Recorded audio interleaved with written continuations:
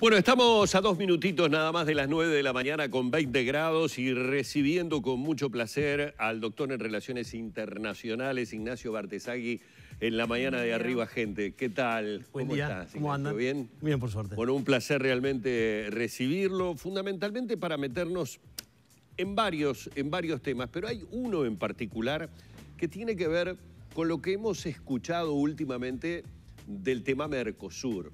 No solamente por los 30 años, eh, que bueno, motivó en esta pandemia seguramente que se viera amortiguado lo que hubieran sido seguramente, no sé si festejos, pero por lo menos conmemoraciones de un hecho que en su momento fue un hecho histórico. ¿Y por qué digo en su momento? Porque uno hoy ve como un Mercosur devaluado y un presidente uruguayo intentar, intentando dar otro rumbo al Mercosur, generar otras libertades para el Mercosur que parecerían ser hoy una traba para el desarrollo no solamente de Uruguay, sino para el desarrollo de los integrantes del, del bloque. ¿Cómo lo ve en este momento al, al Mercosur? Lo que está claro es que el Mercosur, si no se daban algunas acciones previas como las que motivó el presidente de la calle Pou, probablemente no pasaba nada. Era una foto, un festejo, una Argentina que tiene la presidencia pro tempore que no quiere discutir el Mercosur de fondo, entonces estaría muy cómoda Argentina festejando los 30 años sin hacer reflexiones profundas. Lo que hace la calle Pou es aprovechar la visión de Bolsonaro, que es bien crítica con respecto al Mercosur, para plantear lo que Uruguay históricamente ha planteado, que no podemos seguir con la lentitud de la apertura del mundo del bloque que hemos tenido en estos 30 años. Porque en realidad cuando uno pasa raya después de 30 años, el Mercosur no tiene hoy un acuerdo vigente ni profundo con ningún centro de consumo importante a nivel mundial. Y eso para un país chico con una economía como la nuestra es muy grave, afecta el desarrollo. Entonces, no se trata de negar el Mercosur o el hecho histórico que decías, Humberto, que se dio el 26 de marzo del 91.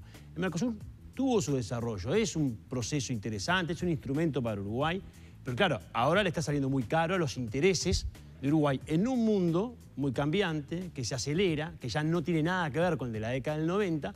Y bueno, y por el momento seguimos escuchando a una Argentina y a un, y a un Paraguay que se sostienen con no querer discutir algunos asuntos. Es el momento de hacerlo, lo lee muy bien el presidente uruguayo, porque ahora Brasil lo quiere hacer. Ese es el gran cambio que se da en estos últimos años. ¿no? ¿Qué es, ¿Cuál es la propuesta, digamos? Eh, ¿Romperlo? Parece ser que no. No. Eh, ¿Flexibilidad? ¿Trabajar a diferentes velocidades, como se ha dicho? ¿Cuál es, ¿Cuál es el camino que propone Uruguay? Uruguay no propone una discusión de fondo, del- porque uno podría decir necesitamos reformular el Mercosur y hasta discutir sus tratados originarios, o sea, los objetivos tan ambiciosos que se marcaron hace 30 años. No está dada esa situación en este momento, porque estamos realmente muy afectados por la pandemia. Todos los países, todos los gobiernos, no hay diálogo entre Argentina y Brasil. Entonces, si no hay diálogo entre las dos principales economías de la región, no podemos discutir el Mercosur de fondo. Entonces, ¿qué decimos? Flexibilizamos. ¿Qué quiere decir? Permitime implementar algún mecanismo que haga que Uruguay pueda avanzar de forma diferencial o bilateral en acuerdos comerciales. Esa es la discusión. Porque en paralelo Brasil está imponiendo otro debate, que es bajar los aranceles, que por cierto son el doble que la media internacional. Entonces, si bien Uruguay tiene excepciones, tenemos que tener en cuenta que nosotros para comprar un televisor, para comprar un aire acondicionado, para comprar vestimenta, pagamos aranceles muy elevados. Además de los costos internos de producción que tenemos nosotros, estamos en un bloque que nos hace proteger lo que no producimos. Claro, o sea, nos sirve eh, eh, subirnos al carro de Brasil, la propuesta No- de Brasil. Nos sirve en este caso, lo que no quiere decir compartir toda la agenda de Bolsonaro, toda la agenda de Brasil, ni ser ampliamente destructivos con el Mercosur. No queremos eso. Pero sí decimos, este Mercosur de hoy tiene que ayornarse, tiene que implementar alguna flexibilidad para que Uruguay realmente se beneficie de las tendencias internacionales. El Mercosur no ha avanzado en comercio de servicios, que es el más dinámico a nivel internacional. Recién en diciembre de este año logró firmar un acuerdo de comercio electrónico le ha dado la espalda a las tendencias internacionales en los últimos 20 años. Entonces el mundo cambió cuatro o cinco veces y tú acá en el Mercosur sigues discutiendo lo mismo. No. Entonces, bueno, ya, ya que no vamos a poder discutir de, algo de fondo, porque además tenemos posibles cambios de gobierno, porque eso es también lo que tiene. Cuando cambia un gobierno en el Mercosur, cambia la perspectiva de lo que se piensa del bloque. No era lo mismo Macri que Fernández, no era lo mismo Bolsonaro que otro posible gobierno que pueda venir. Entonces, porque al no haber una política de Estado, al no tener todos una coincidencia de que el Mercosur sirve siempre y es un interés nacional de cada, eh, de cada uno de los países para que podamos juntos hacer diferentes cosas. Bueno, eso no está. Porque el gran problema que tiene América Latina es que adolece de políticas públicas. Bueno, y ahí te estás adelantando a una pregunta que tenía ganas de hacerte. ¿Qué viabilidad tiene eh, estas propuestas que se están procesando cuando en Brasil reapareció con fuerza eh, Lula, eh, cuando Paraguay está con más problemas, ¿no? Con muchos problemas internos de manifestaciones, además de la pandemia, ¿no? bueno, pero ahí, ahí podríamos decir una frase que se dice mucho, que las crisis son también oportunidades. Uruguay es un país estable, Uruguay puede aprovechar eh, todo este fenómeno de la pospandemia en insertarse más rápidamente que el resto de los miembros que tienen crisis políticas. Lógicamente Bolsonaro tiene problemas internos. Ahora se pueden ampliar un poquito más por el efecto Lula en la política interna de Brasil. Por supuesto que eso es algo a atender. Claramente Abdo Benítez está con dificultades en Paraguay, ni hablar de Fernández en Argentina. Bueno, entonces, ¿pueden realmente discutir los temas de fondo? Entonces, como no pueden, y como no pueden, por ejemplo, definir si van a avanzar conjuntamente en un tratado con China, por ejemplo, no me puedes dejar a mí avanzar. Aplicamos una, instrumentación, se puede hacer. Es un acuerdo político. Uruguay lo que quiere llegar al 26 de marzo en la reunión de Buenos Aires es a una declaración que se le permita las negociaciones bilaterales o diferenciales. Y eso es lo que está negociando en este momento la Cancillería uruguaya. Digamos, ¿es posible? Sí es posible porque cambió Brasil si es posible porque Itamaraty ya no es el mismo que era hace 20 años. Araujo, el canciller brasileño, acaba de decir claramente que apoya la flexibilización del Mercosur. ¿no? Eso es nuevo, es histórico. El ministro de Economía de Brasil, Guedes, también la apoya. Fernández está muy distraído con sus problemas internos, Paraguay también. Bueno, es el momento para hacerlo. Yo lo que digo, lo vengo repitiendo, si no se hace ahora, no se hace nunca más.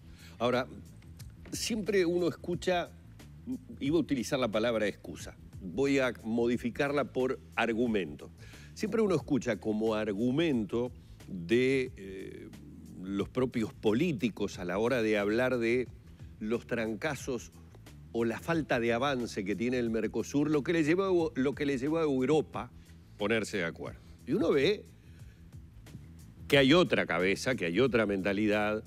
¿Es realmente así? Es decir, eh, más allá de que las situaciones no sean comparables. No. Daría la sensación de que en Europa cambian los gobiernos, pero, pero la Unión Europea sigue siendo la Unión Europea, los bloques... A ver, en todo caso podemos hablar de lo que sucedió con el Brexit, pero estamos hablando de un hecho puntual a lo largo de estos años.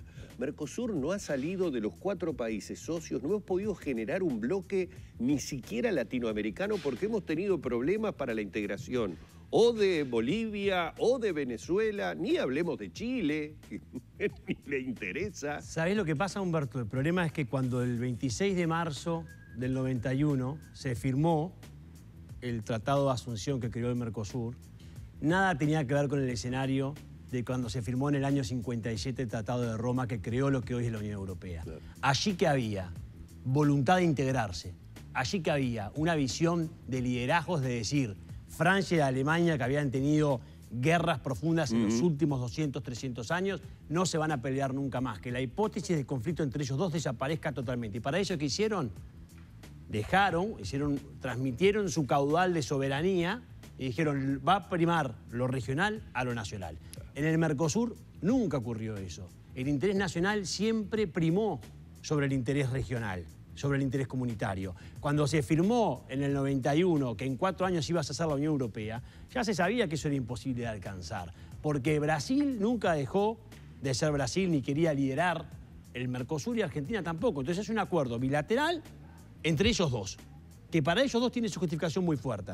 Muy, muy fuerte. Se juntó después Uruguay y Paraguay, pero nunca, no necesariamente se logró regionalizar. Entonces hoy estamos en un Mercosur que nunca logró ese nivel de consenso y esa cohesión tan fuerte. Los primeros años de éxito puede ser, pero después se rompió. Con la devaluación de, Brasil en el 99 en adelante se rompió. Entonces hoy tenemos diferencias muy profundas, no solo de cómo insertarnos al mundo, si Venezuela sí, Venezuela no, si queremos a Bolivia como socio pleno. Eh, no sabemos todavía qué Mercosur queremos. ¿Y por qué eh, cuando se plantea eh, inmediatamente en, las diferentes conferencias de prensa a estas dificultades que presenta el Mercosur, la pregunta, Bueno, y entonces, ¿por qué no nos vamos del Mercosur? No, no, no, del Mercosur no nos vamos. ¿Qué tanta importancia tiene entonces para Uruguay permanecer en el Mercosur? Lo que pasa es que el Mercosur no es solo el Mercosur, es la región. Es tu vínculo regional con Brasil y con Argentina y con Paraguay, que es tu región más próxima. Entonces, a nivel de comercio ha perdido importancia el Mercosur, claro. En los últimos años muchísima. Pero no quiere decir que ahí tenés inversiones, tenés servicios, tenés una afinidad cultural. Ahora, de todas formas, esa reacción de temor a la hora de discutir los temas es una restricción cultural. En Uruguay tenemos esa dificultad. Los políticos, pero los académicos también, ¿eh? los sindicatos, los empresarios, mm. no quieren discutir ninguna reforma importante de Mercosur, porque es una restricción cultural, porque en el fondo tampoco algunos todavía niegan la necesidad de abrirnos al mundo. Todavía en Uruguay hay una visión sobre China que no tiene nada que ver con la realidad, una visión sobre el sudeste asiático que nada tiene que ver con la realidad. Entonces te dicen, no, Mercosur no podemos. ¿Por qué no podemos? Hay que evaluar si no podemos hacer los ajustes necesarios que Uruguay necesita o incluso pensar en pasar a ser un Estado asociado como lo es Chile, que ha logrado tener preferencias arancelarias en bienes y está negociando ahora servicios con los miembros del Mercosur y poder reaccionar al mundo. Yo a veces me pregunto lo siguiente, ¿sería Francia el problema que es hoy, formando parte de la Unión Europea, con las trabas que pone por el, por, por, el tema agrícola, si por ejemplo el mercado que quisiera entrar en la Unión Europea fuera solo el de Uruguay? Claro, ahí uno, uno, te podría decir, quizás no estaba interesado en cerrar ese acuerdo con Uruguay. Mm. Lo que en realidad ha cambiado, porque antes uno se juntaba o se agrupaba en este tipo de grupos para tener más poder negociador. Pero eso ha quedado en el pasado, porque ya sabemos que China, por ejemplo, que es la segunda economía a nivel mundial, si se hacen los números bien, ya es la primera, ha negociado con economías muy pequeñas y te está diciendo hace mucho tiempo que quiere un acuerdo contigo. ¿Por qué? Porque hoy los acuerdos comerciales tienen otras incidencias, otras repercusiones. Ya no hablamos solo de bajar aranceles, ya hablamos de mucho más. Hablamos de acuerdos de asociación donde allí se discuten, es una plataforma para discutir cooperación, otros asuntos. Entonces, Uruguay podría atrapar el interés de muchas economías si está solo. Yo no estoy diciendo que ese sea el camino, pero lo que digo es, no podemos seguir, eh, no se puede, no se puede, no se puede. Y tampoco podemos seguir desde Uruguay escuchando argumentos que nada tienen que ver con la realidad. Uruguay tiene en relaciones internacionales y en comercio internacional un debe muy profundo tiene que discutir en base a argumentos técnicos, serios. Seguimos discutiendo sobre argumentos que ya no están arriba de la mesa en el mundo y no nos estamos dando cuenta que ni siquiera estamos viendo la película de lo que está pasando en el mundo. No, estamos sentados en el cine, ¿eh? ni siquiera entramos a verla. Ya no es que estamos atrasados, sino no la estamos viendo. Entonces, eso nos debería realmente intimar a decir cuándo vamos a tomar definiciones. Por eso yo valoro mucho las acciones que ha seguido en este último tiempo el presidente de la calle Pou en subirse a un avión, ir a hablar con los presidentes de los socios a plantearle esto. ¿Cuán avanzado es una actitud interesante. ¿Cuán avanzado está entonces que el próximo 26 eh, de marzo, en esa reunión, eh, se haga un anuncio concreto de flexibilización en el sentido que tú planteabas? Está medio avanzado. Yo participé ayer o antes de ayer, antes de ayer en una conferencia con el canciller Solá, donde discutíamos algunos temas de la integración regional y él ya adelantó que no está de acuerdo con la posición, lo que ya sabemos, no es una novedad. Pero ya, no, y, criticó indirectamente al presidente de la calle Pou al decir que le parece muy negativa esta expresión del corsé. Bueno, creo que ahí sí está muy clara la, posición de Argentina. El asunto es cuánto aguanta la presión, que también dijo que Solá, que está teniendo de Brasil. Porque Argentina corre el riesgo de si no acepta, si no se flexibiliza, de romper el Mercosur. Estos son como los edificios. Los edificios no son rígidos, se mueven. Si no se mueven, se caen. Ya estamos en una altura y creo que la historia de lo que ha ocurrido con el Brexit, pero también con los organismos internacionales, la OMC, las Naciones Unidas, por decir no reformamos, no reformamos, no reformamos, se rompe. Entonces, quizás Argentina y Paraguay ahora deben reconocer que hay que reformar, que hay que ayornar, que hay que modernizar, porque si no se corre el riesgo de que se rompa el Mercosur. Y yo me hago la pregunta, el Mercosur sin Brasil, ¿qué es? ¿Hay un riesgo entonces de que si el 26 no se anuncia esa flexibilización, faltan pocos días, eh, Brasil podría salirse y en esa cola Uruguay, por ejemplo? Hay un riesgo de que se tensionen cada vez más las relaciones entre los miembros y eso no ocurre. Yo creo que Argentina tiene que ceder, Uruguay tiene que sentirse cómodo en que consiguió algo, porque lo necesita realmente, y Brasil y Argentina están negociando, se están intercambiando, de eso se trata de negociación. Todo está arriba de la mesa. ¿Qué quiere Argentina? ¿Qué quiere Uruguay? Lo que no podemos es seguir negando la realidad. La realidad es que después de 30 años el Mercosur no ha cumplido mm. con sus metas, porque algunos dicen no podemos permitir que Uruguay negocie solo porque no lo permite el Tratado de Asunción que dice que somos un mercado común. Pero ser un mercado común es Francia y España que pasan como pasaríamos acá de Paysandú a Salto. Todos sabemos muy bien que no somos eso. Todos sabemos muy bien que nosotros no circulamos libremente por Argentina y por Brasil. Entonces, no te puedes seguir diciendo que no porque sos una cosa que en realidad no sos.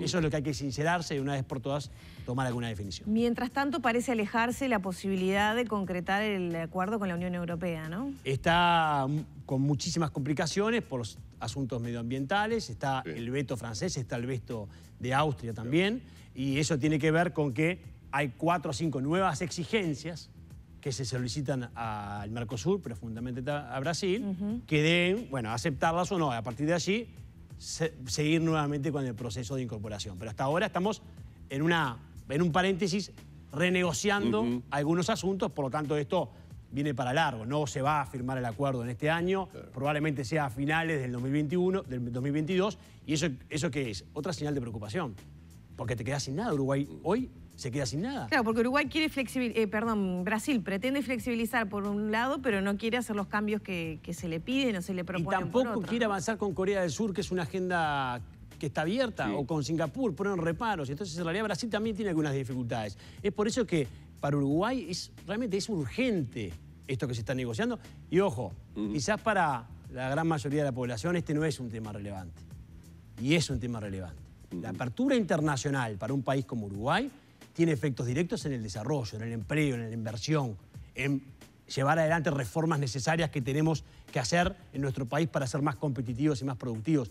Eso, lo que no podemos hacer por discusiones que nos traban en la interna, muchas veces lo hacemos por lo que viene de afuera. Y eso sería muy relevante para Uruguay. Entonces esta discusión no es menor, es una discusión en la que tenemos que estar todos muy de cerca, siguiéndola muy de cerca, porque es bien relevante para Uruguay.